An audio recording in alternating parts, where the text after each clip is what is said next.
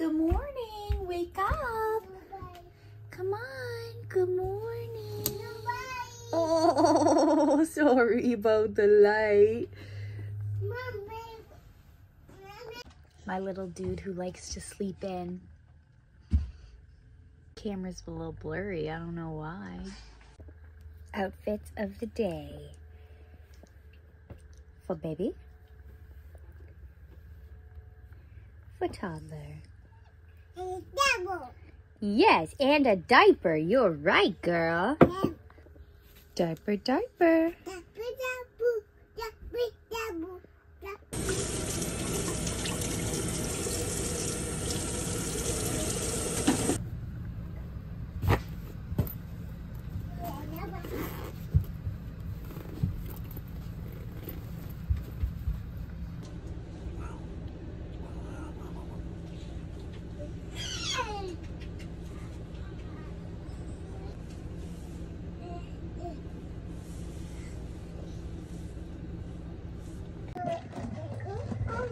Wait.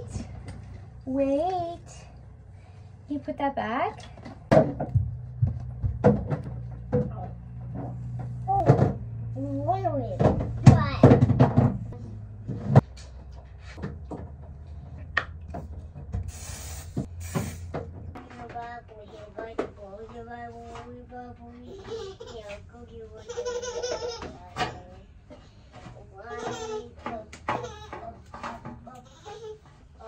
going to be 90 degrees outside, so I have my hair up. And uh, although there's still like postpartum hair loss patches, um, it's got to be slicked back because it's going to be so warm today. And also, we got a wonderful, I shared on my Instagram stories. We kind of just decided, you know, considering we don't know what's going to happen, but in general, we want more kids. Might as well just get the Wonderfold now because our mountain buggy duet broke. I also posted about that on Instagram. Um, a couple of people were like, how did you break it? How did you break it?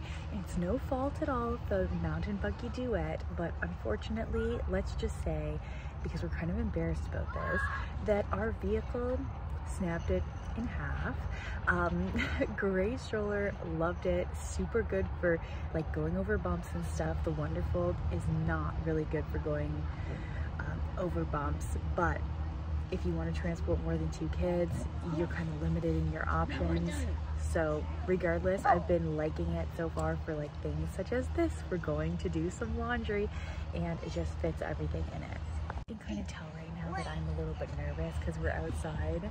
So I'm not speaking very loudly. I'm still getting used to volume in public. It's a little nerve wracking. Uh, talking to a camera when anybody can pop up like next to you and see that you're talking to a camera. But anyway, we're going to do laundry and one thing about me that I have to tell you all is I love laundromats. Um, I would have a laundromat machine if I could, but they're obviously very, very expensive. I don't want the new high-tech like water-saving um, front loaders because with three dogs and two little kids, I just feel like our washer gets so broken. So I am loving using uh, laundromats and I would use them more regularly if they weren't so expensive like per load. Um, now it's insane, like per load it's like three, four dollars for just the washing and you have to pay for the drying. But like I mentioned before, because we are traveling, of course that's the only option, but I am not upset with it at all. Love a good laundromat.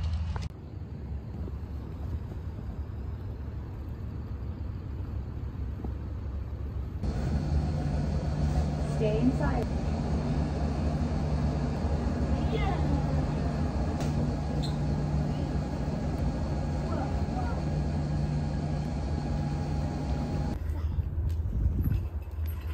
Look at you guys. so cute.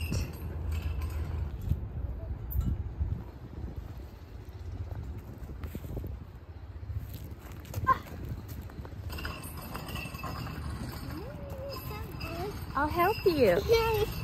Okay, wait. Oh, whoa, you're on this tire. I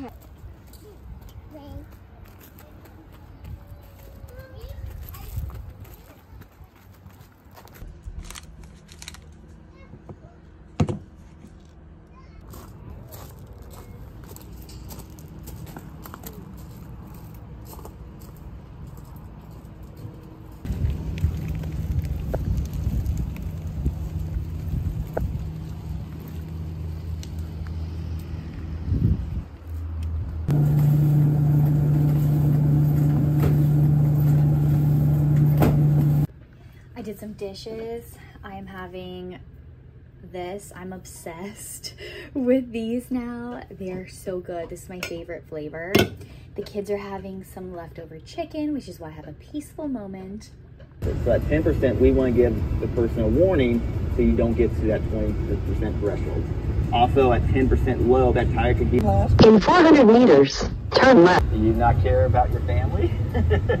I mean, th- that again, going back, that's one thing that we're always worried about. We want the end. So the plan was go to go berry picking, which we did a couple days ago.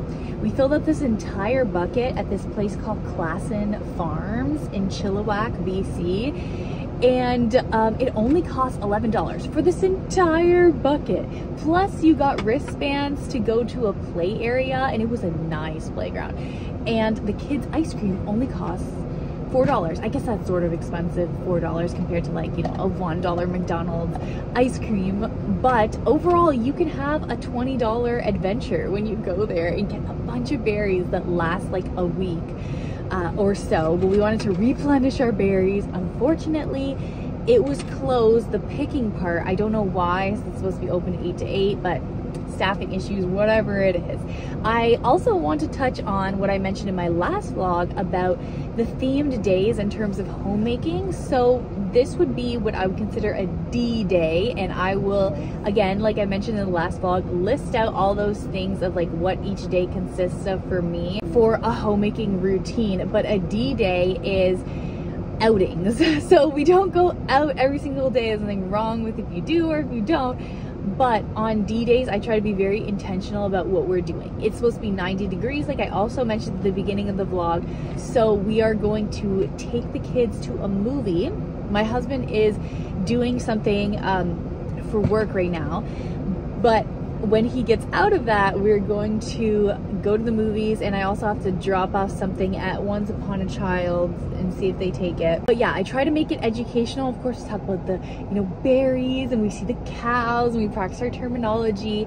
My oldest is only two, so we don't do that much like homeschooling stuff, even though I am pretty intentional on like learning letter sounds, stuff like that. I'm going to ramp it up in the next couple months. But D-Day would be like when I choose, for example, to go to a museum or like even something pretty simple like teaching him how to go to the store and like handle money type of stuff. It's like all focused on learning. I lost my sunglasses as well. So if you see me not exactly looking at the camera when I'm outside and throughout this video, it's because my eyes are very sensitive. Um, to the sun, but my husband ordered me some new sunglasses that'll hopefully get in the mail today. I would consider myself a pretty like put together person, but when it comes to sunglasses, I don't know what it is. I just lose them, I break them, I sit on them. I've always not been good with sunglasses and I tried spending more money on nicer sunglasses because I thought, you know, if it's nicer, I will take better care of it no, that was just a waste of money. We just go for cheap sunglasses, the like dollar sunglasses at the Dollar Tree, or like the ones I just ordered are $8 sunglasses on Amazon. And the last thing that I wanna say in this section of the video is I have been hesitant on vlogging, but I saw that I got a pretty good response on my last vlog. Like I'm not a good enough vlogger to make like a super long video, but I came to realize from all of your reactions to the video and also some messages and feedback I got in DMs is that you all don't really necessarily care if it's like a big production. You just like to see what I'm up to. So I will be making more of a consistent effort to vlog, even if they are just like plain vlogs like these, not very much special because happy that it's well received.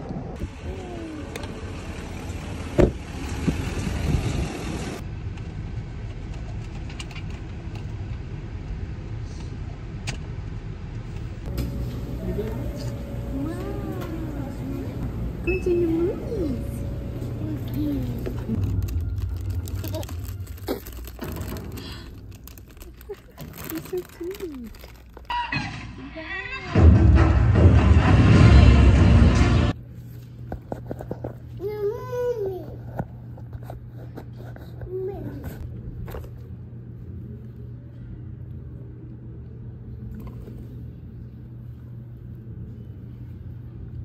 He's so cute. Do you want to go back into the movie?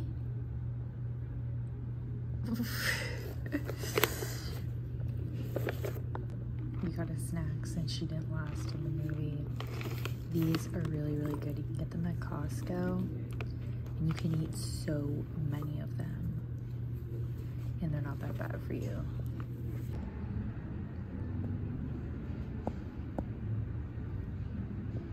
Come on, let's go. Let's go back.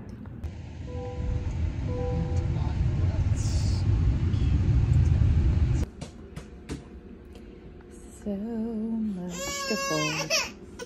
Oh, mommy's coming. So tomorrow we are going on more adventures deeper into the woods and the Rockies, which is going to be a fun time. But I'm just packing this super neat cooler. Look at that. that keeps its temperature throughout. No. I have drinks, what I mentioned in the previous vlog. I really like that. These are very filling and my kids like them too. The Boost High Protein. Of course, we have Coke Zero and Poppi. Some waters. I pack sandwiches. I'm going to bring the kids some Cheerios. Pretty simple stuff. I know I'm talking a lot lately about like things that you can eat for like a lot of for a certain number of calories. I'm gonna have to close this. But that is mostly because I am a person who loves food. I'm a foodie. But like I mentioned, I'm trying to, you know, make sure I'm in an ideal weight before my next pregnancy because I'm somebody who gains a lot of weight while pregnant. So you will hear me talking here and there about things that you can eat a lot of that are lower calories or like more filling type of nutrient dense things. So I'm sorry if I'm like a broken record talking about that kind of stuff, but that's where I'm at.